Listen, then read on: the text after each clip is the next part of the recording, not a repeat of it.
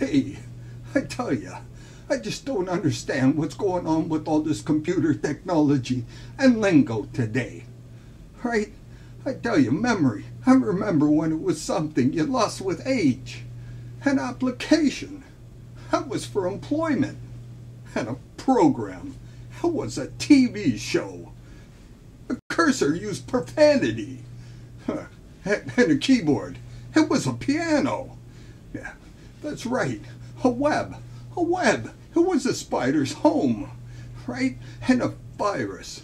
Oh, a virus. That was the flu. A CD. A CD. I never had one, but some people had one. It was a bank account. That's right. I tell you, I'm so broke I can't even afford to pay attention. You know?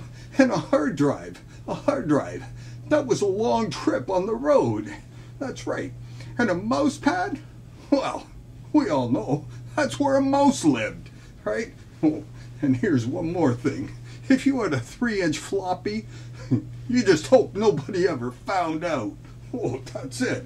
Hey, you gotta go to growamillionaireonline.com. Dreams, dreams can happen. Have a Merry Christmas. Ho, ho, yeah, ho. I knew a few in my day.